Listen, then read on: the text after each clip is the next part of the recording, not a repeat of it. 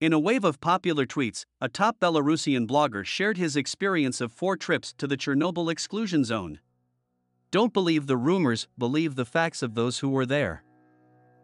Fact 1 When the wind blows from the sarcophagus. First, a clarification. Everyone knows about the 10 and 30 10 and 30 kilometer security perimeter around the Chernobyl nuclear power plant. However, in fact, the 30 is much wider, in some places more than twice as wide. To the west, for example, it stretches for almost 90 kilometers. The name 30 kilometer zone is very conventional. Unlike the 10, the 30 is practically clean. In general, almost the norm in terms of exposure background. But you cannot live there, all the land is contaminated with radionuclides. Specifically, in the town of Chernobyl, 12 kilometers from the Chernobyl nuclear power plant, the radiation background does not exceed that of Kiev or Moscow 10 to 15 microroentgen per hour. In Pripyat, 3 kilometers from the plant, the average background is 50 to 80 microroentgen per hour. This is absolutely safe for a short-term stay, explains the stalker. But the closer to the nuclear power plant, the more phoned up it gets. Near the unfinished power units 5 and 6, the dosimeter shows in the air under 90 μr/h, but on the grass the level is noticeably higher. At the CHNPP observation deck, there are already about 300 to 400 μr/h, with the wind blowing towards the plant. If the air flows from the side of the sarcophagus, the background here can be up to 600 to 800 μr/hour. Compare, during an air flight at cruising altitude, the radioactive background is on average 100 to 150 microroentgen per hour, this is 10 times higher than the usual norm. And sometimes dosimeters scare with even higher values up to 350 microroentgen per hour, i.e. practically as near the Chernobyl sarcophagus. Does this mean it is dangerous to fly? Not at all, unless of course you live in the sky. Fact 2 Nobody's Dead City. In the western part of the zone is almost no one knows the dead town of Poleskoi. Stalkers get here rarely, the city is too far from the usual routes. A highway runs through Poleskoi, but it is strictly forbidden for passengers to get out of the car. After the accident, they wanted to make Poleskoi a model town near the contamination perimeter, for which purpose something was built and developed there even after the accident. The Soviets hid the fact that in Poleskoi there was in fact colossal soil contamination with cesium-137. As the blogger explains the widely known story of the urgent evacuation of Chernobyl and Pripyat created a myth, as if all residents of the zone were evacuated in the first days after the explosion of Unit 4. In fact, there are villages and entire towns in the zone that were not evacuated in the first days or even in the first years after the accident. The town of Poleskoi was only evicted in the early 1990s, seven years after the accident and two years after the end of the USSR. Until that time, people continued to live in the contaminated zone. Fact 3 Pripyat, don't believe the popular photos. Many people still confuse Chernobyl and Pripyat, notes the blogger. So it's worth considering that most Chernobyl photos are actually taken exactly in Pripyat. This is a staged photo, there were no dolls on the street and children's gas masks were not even unpacked on April 26, 1986. Journalists did this. Some even make such productions, which they pass off as photos of an abandoned untouched city, as if children on April 26, 1986 had nothing better to do than to put dolls in their beds. The point of no return Pripyat passed around the year 2000. At that time, a study of the city was conducted, which showed that these houses could never be lived in. Irreversible changes in the structures had begun due to non compliance with the mode of operation. The average age of the residents of Pripyat was 26 years old, it was a city of and for young people. And it is still felt there. Absolutely all public buildings, including schools and police, have glass doors and huge panoramic windows. Among the surrounding villages, Pripyat looked like a city from the future. Fact 4 Even now, Pripyat is not a completely dead city. Until 1998, the Pool Azure worked in Pripyat for employees of the zone, and now works Pripyat Special Laundry, where they wash contaminated clothes. It looks just like the laundry in the game Stalker. The Call of Pripyat. In the fall of 1986, disinfectors went around Pripyat's houses. They opened doors and threw full refrigerators out of windows to prevent an epidemic. Somewhat later, furniture also flew into the windows. It was thrown directly into the bodies of cars and taken to the burial grounds. The most valuable things, pianos, household appliances, were taken away to Rainbow Store in the center of the city. It was alarmed during almost all 1990s. Now the store is open, and no one wants things, they were destroyed by time. There's also the fact that the entire Chernobyl zone has been cleaned out by looters. Everything is broken, smashed, and plundered, even the tiles were peeled off in the 90s. There are absolute fairy tales, rumors that somewhere in Pripyat, there are apartments where everything is like in 1986. Fact 5 Scary place, don't go there. The most terrible place in Pripyat was and still is the basement of MSCH 126, a hospital where firefighters and plant workers were taken in the first hours after the accident. The clothes and equipment of the firefighters, which absorbed cesium, strontium, plutonium, and americium from the nuclear fire, were taken to the basement of the hospital. In places on the floor there shines a background of 1 to 2 X-rays per hour, which is 100 to 200,000 times higher than the norm. Don't go there, don't do that.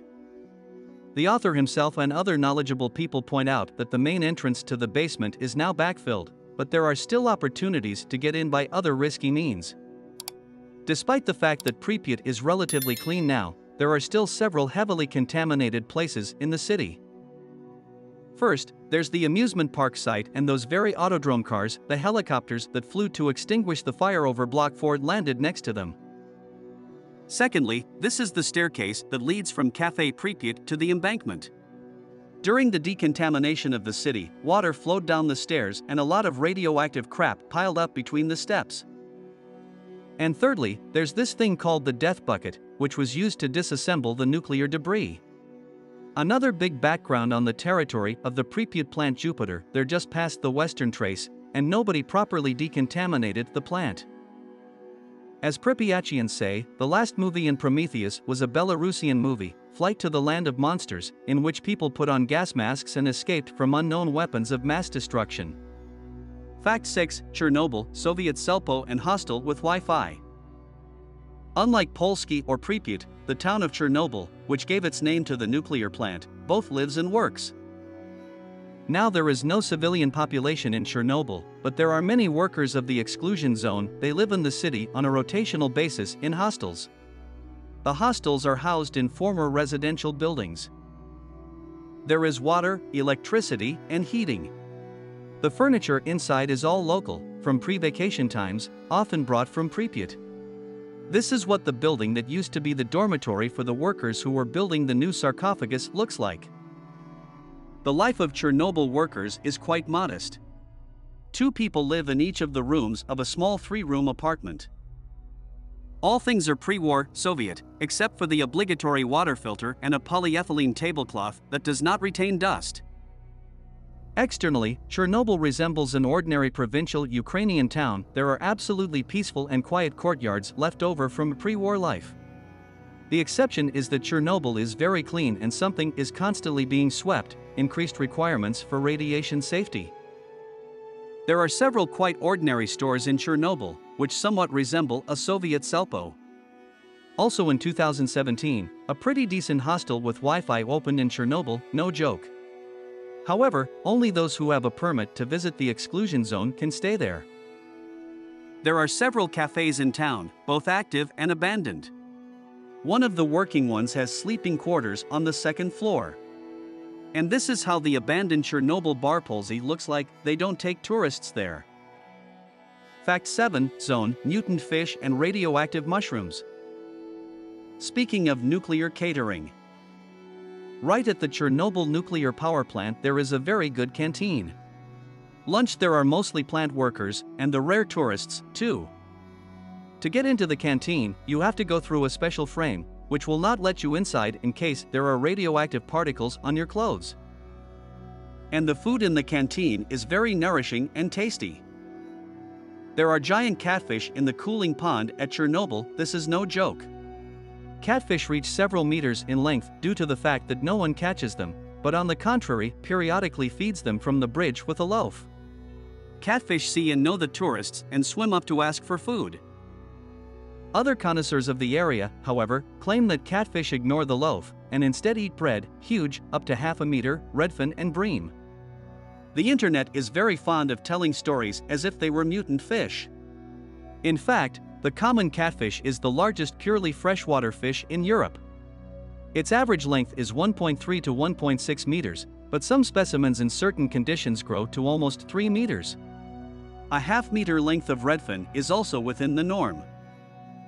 In general, there are a lot of animals in the Chernobyl zone Przewalski's horses, wild boars, wolves, foxes, hares, and so on that were brought there live well. In the short lifespan of an animal, radiation does not manage to do any significant harm to it. The redwood forest, which is in the game Stalker. Clear sky is not a fairy tale, but a completely real object. The forest was near the Chernobyl nuclear power plant and turned red in the first hours after the accident. The needles quickly turn red and die from high radiation fields. With the beginning of work on the liquidation of the consequences of the accident, it was decided to destroy the red forest, or rather to bury it in the ground in order to reduce the lateral shooting through the road with radionuclides when approaching Pripyat. In 1987 88, liquidators cut the wood with chainsaws and put it in trenches. Now there is nothing at the place of the red forest, only tall grass grows. Here is my picture of these places, a few dry trees in the background are the remnants of that very redwood forest. When you step on the side of the road from a clean road, the radiation background increases tenfold, and a little farther, hundreds of times. The Duga radar station is one of the most interesting sites in the Chernobyl exclusion zone. In the 80s, foreign journalists often came to the zone and could not help but see the huge antennas above the forest.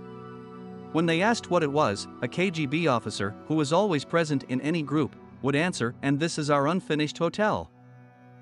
The antennas of the ark are on a small hill, and next to it there is a low place where the water flows down. And here you can clearly see what the radiation is, the mushrooms growing in the lowlands have just some prohibitive level of activity. In fact, these are not mushrooms, but radioactive wastes.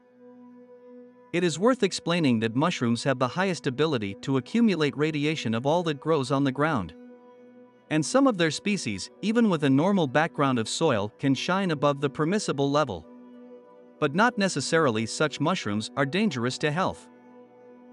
On the contrary, some innocent things, far from Chernobyl, which surround us every day, can be dangerous. Subscribe to the channel and share this video with your friends. Give it a thumbs up. Tell us interesting facts you know about the topic of this video. See you in new videos.